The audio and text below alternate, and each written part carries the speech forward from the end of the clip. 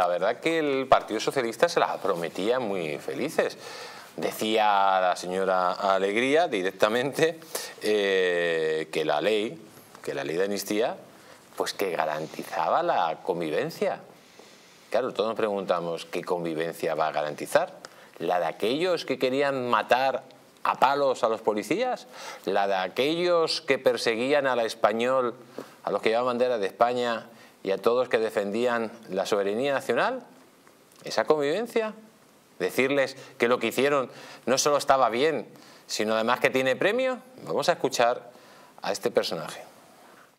En primer lugar, eh, permítame eh, eh, trasladarles el firme compromiso del Gobierno de España con la ley de amnistía.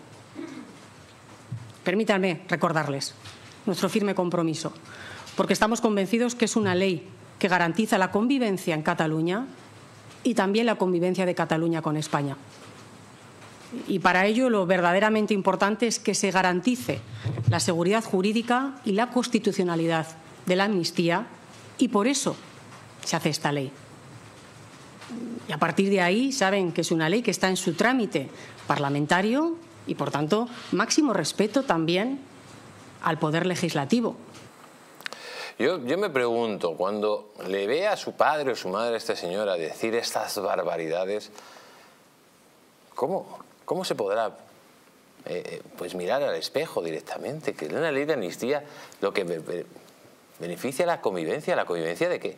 de que sigan tú en el gobierno y sigas diciendo esas tonterías, esa es la convivencia. Pero ojo, vamos a escuchar directamente al señor Tellado tras el rechazo a la amnistía. Dice, si Junts no hay legislatura para Sánchez. Y es verdad, amigos, sin el prófugo se acabó Sánchez en la Moncloa. Escúchenlo. Hemos podido ver en esta sesión plenaria es que Junts ha decidido que aún puede exprimir un poco más a Pedro Sánchez y nadie en el Partido Socialista ha dicho que no se vayan a dejar o que no estén dispuestos a dejarse durante el próximo mes de tramitación de esta ley. Sería bueno que desde el Partido Socialista aclaren si lo que hoy no acepta el Partido Socialista tampoco lo aceptarán en unos días cuando la ley vuelva a la Comisión de Justicia. Porque lo cierto es que sin el apoyo de Junts no hay legislatura para Pedro Sánchez. Pues efectivamente, es cierto que tenemos que ir con pies de, de barro, eh, porque lógicamente eh, Sánchez se ha recuperado de tantas ya, que hemos dicho tantas veces, este es el fin de Sánchez, este es el fin de Sánchez, y al final Sánchez se ha revuelto y ha seguido adelante, pero señor Vera, la verdad que si no hay acuerdo con Jus, si no se baja todavía más los pantalones hasta los tobillos, el señor Sánchez, no hay legislatura. Eh, no, porque es absurdo, porque no habría presupuestos. Si no hay presupuestos, sí, los puedes prorrogar. Los presupuestos siempre se pueden prorrogar. Pero es muy complicado, porque el día a día eh, al final es dificilísimo, dado que te falta eh, unos diputados esenciales, que son los de Junts, y entonces no sacarías nada. que vas a estar gobernando a base de decreto todo el tiempo? Bueno, puedes estirar un poquito, puedes estirar seis meses, eh, siete, ocho. Hoy han hablado de, que la legislatura no está en peligro, pero, ya están pensando en ello. Claro, y la legislatura acaba de comenzar. No puede, no puede convocar elecciones hasta mayo, no puede convocar, porque legalmente no puede hasta mayo. Pero es un año, ¿no?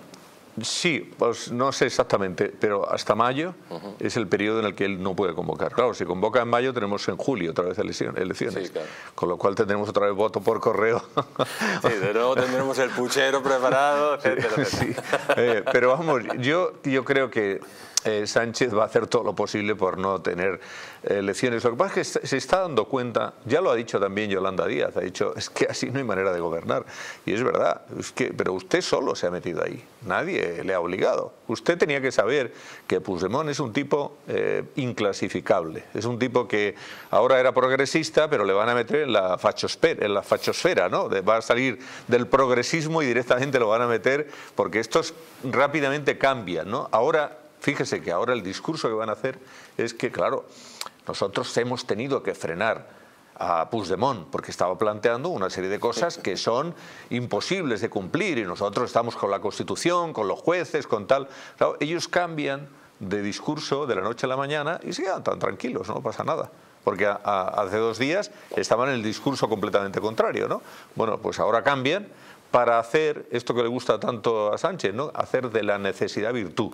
Y como haré elecciones en Galicia, pues tienen que presentar la cara, digamos, constitucionalista. Y entonces ellos son los que frenan al, loco de Puigdemont y tal. Y esto es lo que van a tratar de vender, porque ya la reunión o la, revisión del proyecto de ley no se va a hacer hasta que no pasen las elecciones, porque si no, no tendría sentido. Y como son 15 días o 30, pues serán 30 días.